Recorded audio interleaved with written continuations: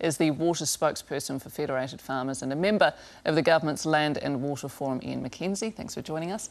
And uh, from a conference in Queenstown is the president of Local Government New Zealand and Hastings District Council uh, Mayor Lawrence Yule. Kia ora, Lawrence. Thanks for joining us this morning. Let me start with you. Uh, John Key says no one owns water, but the councils act like they do, don't they?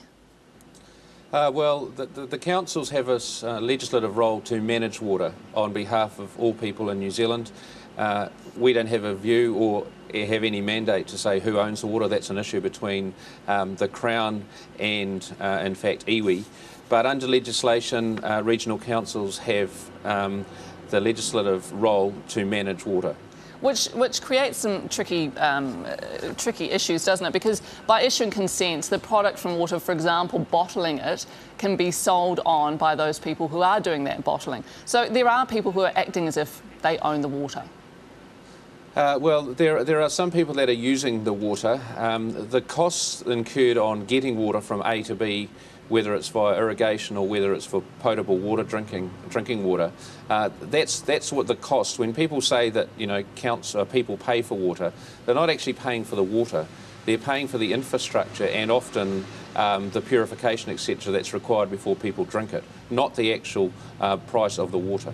It means in some cases, though, that iwi or hapu that have uh, a spring on their land, and we know of one, um, uh, the Poroti Springs, uh, Whangarei, uh, have a claim at the moment where they're not able to use their, the water that is on their own land, but the water is being bottled and sold on. Does it seem like a fair scenario to you?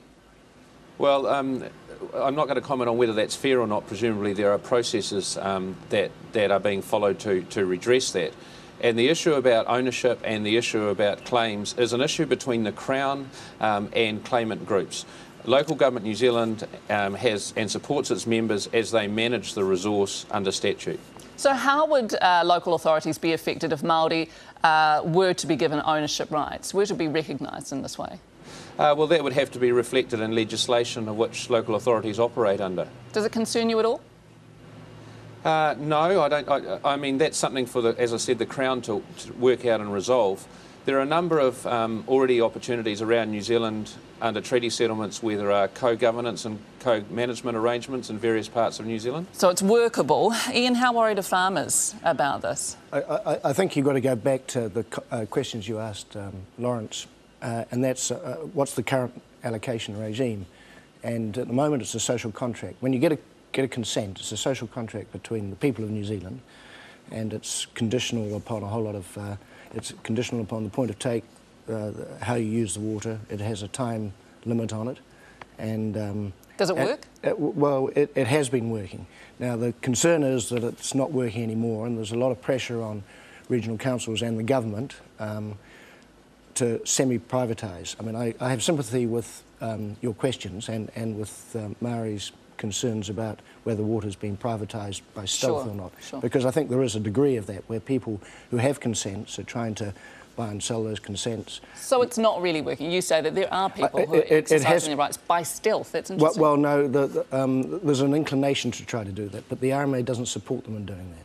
Okay. So, so I mean, I, I have uh, several water consents to irrigate. Uh, they're specific to the point of take, the point of use, and one, one, of them runs out in five years' time, some of them run out in 20 years' time. They've all been allocated on the basis that uh, the effects on the environment are less than minor and uh, that they can be reviewed, that the terms and conditions can be reviewed at any stage during the consents. Now, in the case of the, the spring, I mean, I don't know, yeah. you were talking about, that sounds a little, and there are plenty of cases where, I think in the history of New Zealand, where Maori interests in water have been uh, subjugated and, and but that is a different issue to ownership. Yeah, it's interesting, isn't it? Because everyone's focusing on the asset sales um, scenario at the moment. Yeah. There's actually a much more I, bigger issue at stake here, isn't there? I, I mean, I, I, I, sympathise with the Maori's position that they would like clarification on who owns and doesn't own water, or if there is an ownership, why, why, why they're not part of the ownership stake. I, I don't see the asset sale as actually being uh, it might be a trigger for that, but I don't see that that's part of the issue of asset sales. Asset sales, they're selling the asset, which is the uh, infrastructure to generate the electricity, the consents are still subject to the same social contract with the people of New sure. Zealand and so, can be reviewed, and the so buyer, buyer needs to be aware of that. Do you see a future where uh, farmers and local authorities will have to go to Maori to get consents to use water? I, I, um, I think it's highly likely in some circumstances that Maori will be part of a co-governance um, uh, body who will have a view as to whether the con- granting consent ticks all the boxes. Um, I, I- I also have a view that if you actually move to ownership, as your segue suggested, uh, well, well, in fact, the segue talked about two things. One was having a proprietary interest in looking after water, and the other one was ownership. And Yeah. they're actually different. But if you go to ownership, then I would have thought you probably have to go the whole hog and go to ownership, which is what they have in Australia and parts of America. So And what does that mean? and that- Everyone owns water. well, no, that's, that means whoever owns water has private property, absolute, absolute private property rights in the water, which doesn't exist in New Zealand at the moment. So that's interesting. So, you, so we would have to create property rights uh, that could be traded. Yeah, I mean, and, and that's one, that, that is the alternative. Now, at the moment, New Zealand is exploring through the Land and Water Forum. Okay, but Um, just we, we do have to wrap up very quickly. So, so there could be property rights traded. Would Maori need to get some sort of allocation of rights? I- If you did that, I, I- I think it's probably Okay. a fair dinkum that Aussie, uh, the Maoris would get an allocation, yeah. What is your greatest fear in uh, this hearing before the Waitangi Tribunal at the moment, Lawrence? Um, I, I haven't got a great deal of fear. I- It's just an issue that's got to be resolved. You know, we have water in New Zealand. It's um, a, a growingly precious commodity and resource.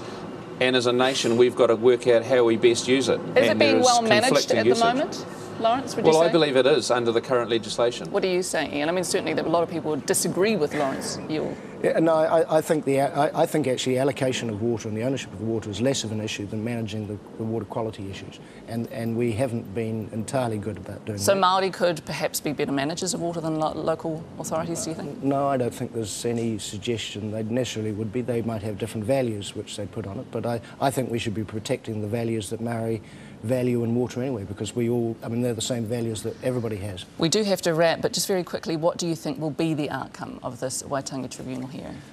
Uh, no, I really don't have a view on that because it's something between, as Yule Lawrence said, between Crown and Maori, and and it's complicated. Every iwi will have a different a different position in terms of where they see their stake in water. It is complicated. You're absolutely right about that, and hopefully there'll be some clarification in no time.